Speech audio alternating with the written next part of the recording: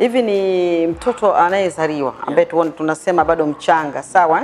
Anaenda anakuwa, sawa? Ni anapofikisha umri gani, aidha siku kadhaa au wiki au mwezi, ndio anatakiwa kusafisha kinywa, na kama anasafisha kinywa anasafishwaje hicho kinywa? Kwa sababu inawezekana mwingine anamsafisha mtoto kinywa yeah. lakini anakosea. Lakini daktari mtaalam huko hapa, unaweza kutuelezea kwa kifupi sana, kutokana na muda wetu sio rafiki. Kwanza mtoto anaweza kusafishwa kinywa Mm. mtaalam huwa tunashauri walau kuanzia miezi sita. Nitasema kwa nini? mm. Kwa sababu kipindi cha miezi sita mara nyingi sana mtoto huwa achanganyiwi chakula na zaidi ya maziwa ya mama. Kwa mdomo unuki. Yes, mm. Sasa kuna watu unaonaga anachukua kitambaa. ndio hicho nataka niseme. Kitambaa kinaweza kuanzia baada ya hii miezi sita.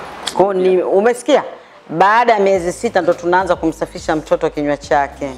Na hii kwa nini? Kwa sababu tunasema kwa kutumia kitambaa labda ambacho unaweza kukichovya kwenye dawa ya meno ya zoazoa ya mtoto mm. eh, kama mtoto labda ni mchanga zaidi inawezekana mm. ukashindwa kucontrol mtoto akameza, japo huwa haina shida kwa sababu Haina fluoride. zoazoa ya mtoto huwa haina fluoride mm.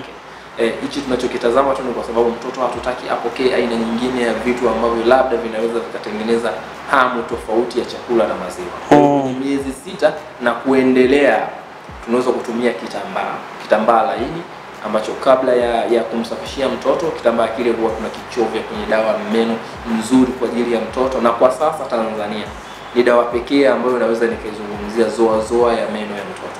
Kwa hiyo unaweza ukachovya kitambaa laini chini maji ya vuguvugu ni zoa zoa ya meno ya mtoto ukasafisha mabuje juu na chini. ili kuondoa makapi ambayo tunaashumu baada ya hii miezi sita utakuwa umeanza kumpa mtoto utakuwa umeanza kumzoesha aina nyingine ya vyakula ambavyo sasa anaweza kwenda kuwa anavitegemea baada ya kumaliza shaku- ya shughuli ya kuwa ametumia maziwa kwenye ile miezi. Zoazoa is the way to go.